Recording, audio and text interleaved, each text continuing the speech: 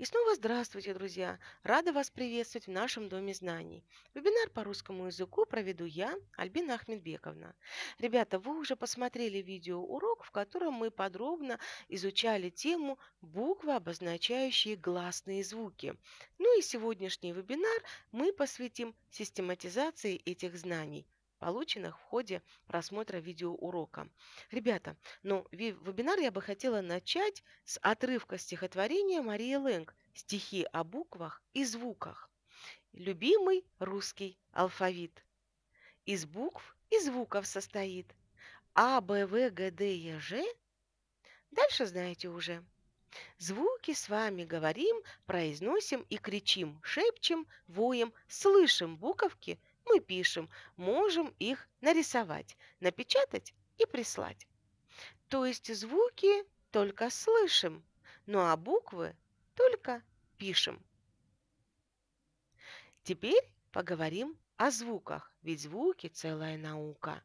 Гласные, согласные, трудные, ужасные. Что такое гласные? Ох, пока не ясно мне. Объясните поскорей, чтобы стал я поумней. Голос называли глаз. Вот и гласные у нас. А, О, И, Е. У, Я, И. Голосом протянем мы. Или, к примеру, буква Ё. Тянем голосом ее.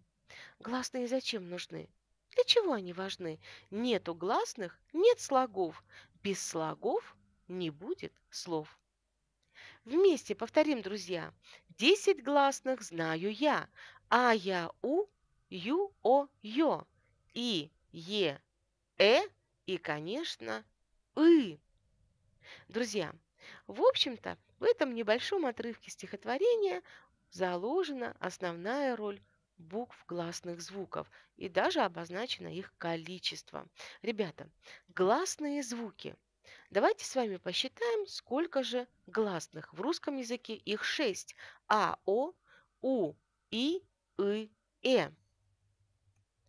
На письме гласные звуки обозначаются буквами. Всего гласных букв, друзья, 10. Буквы А, О, У, И, Э обозначают твердость предыдущих согласных звуков, а буковки Я, Ё, Ю и Е обозначают мягкость предшествующего согласного. Обратите внимание, март А указывает на твердость, сумка У указывает тоже на твердость предыдущего согласного. Друзья, мята.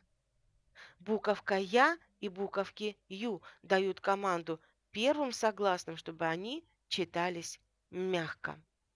Ребята, буковки Я, Ё, Ю, Е особенные. Почему эти четыре буковки русского алфавита особенные? Дело в том, что они обозначают два звука, причем в некоторых позициях. В начале слова ель, е, ёж, е-о, юла, ю, яма, я. Также эти два звука они обозначают после разделительных мягкого и твердого знаков, например, вьюга, съела, или после гласных маяк, поют. И, кстати, обратите внимание, я напомню вам еще раз, друзья, что звук «е» непарный по звонкости глухости и непарный по твердости мягкости. То есть он всегда звонкий и всегда мягкий. Ребята, гласные звуки бывают ударные и безударные. Но этой теме мы с вами также посвящали и отдельный урок, и отдельный вебинар. Но что значит ударный. Это когда один из слогов в слове произносится с большей силой и длительностью в голосе. Это означает, что на него падает ударение. Но такой-то слог, друзья, и называется ударным. Гласный звук в этом слоге также называют ударным. Все остальные, соответственно, называются, друзья, безударными. И, кстати, я надеюсь, вы помните, что главная роль э, гласных, слогообразующая – гласный звук образует слог. он может образовать самостоятельно один слог. Слог – это один звук или несколько звуков, произносимых одним выдыхательным толчком воздуха. Ну, например, наука, стакан. Вот в слове наука три слога. У образует самостоятельный слог. Молоко – три слога. Друзья, этой теме мы также посвящали отдельный урок. И еще не раз будем говорить об этом. Ну а теперь я бы хотела обратить ваше внимание на следующие, на следующие значки. Итак, что же это такое, как вы думаете? Ну, возможно, у вас какие-то ассоциации возникли. Дам подсказку. Ну а сейчас догадались? Ну, возможно, не все, да? Что ж, третья подсказка, друзья. Думаю, теперь уже все предельно ясно.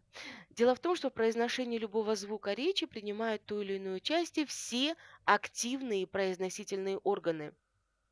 Положение этих органов, необходимое для образования данного звука, называют артикуляция. Артикуляция, друзья, это та совокупность движений и положений органов речи, которая нужна для образования звука. Но в нашем случае, когда мы говорим о гласных, мы говорим о положении губ.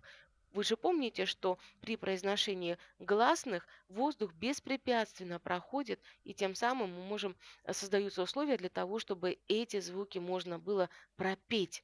Они не встречают преграду. Так вот, по участию губ Гласные делятся на огубленные и неогубленные. Что же это такое? Обратите, пожалуйста, внимание на э, огубленные гласные О, У. Но, правда, степень огубленности звука «у» она немножко выше, друзья. Мы немного вытягиваем вперед губки. Все остальные звуки не огубленные. Они у нас как бы расплываются в улыбке. Ну, за исключением эм, буквы А, которую мы произносим, широко раскрыв рот. Словно мы сидим в кресле у стоматолога. Ну, не самые лучшие воспоминания, но, однако же, они создают эту ассоциацию. Друзья, очень важно в участии у, вернее, очень важно э, в произношении звуков и участие, конечно, языка, безусловно. Но об этом мы с вами поговорим в следующий раз. А я надеюсь, что вебинар был для вас интересным и полезным. До новых встреч, друзья. Пока-пока.